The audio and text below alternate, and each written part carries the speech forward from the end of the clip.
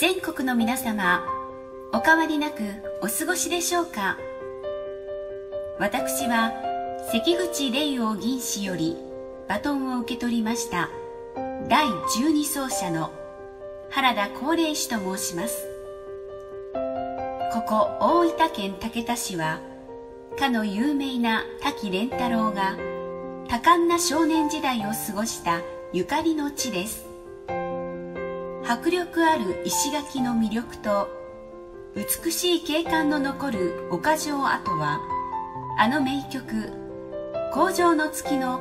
モデルになったとも言われており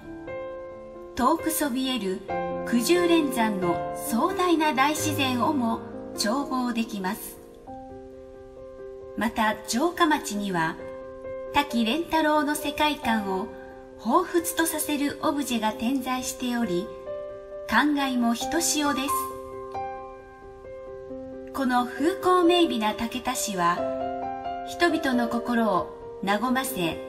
美しく風情ある街並みとしてきっと滝蓮太郎の心にも刻まれていたことでしょう。100年以上経った今日でも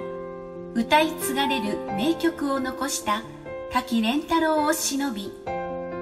そしていまだ弱まることのないコロナ感染の早期収束と皆様方の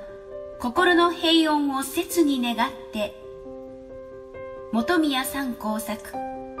工場の月をお送りします。それではよーいスタート。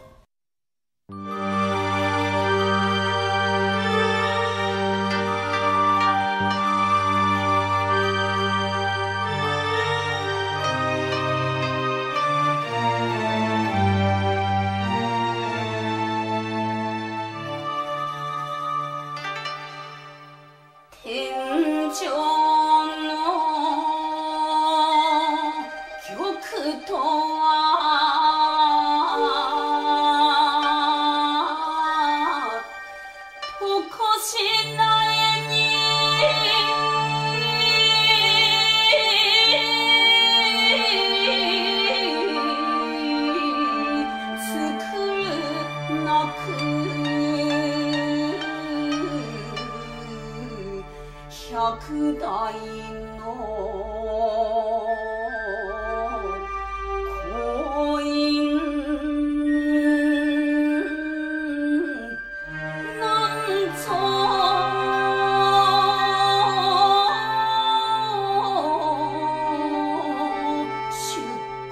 う。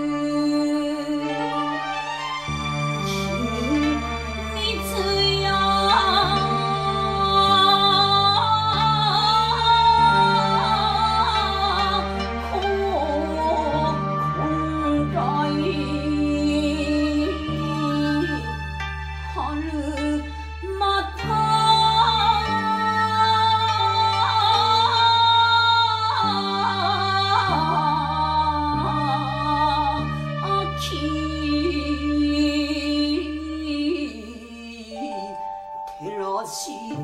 出す。古城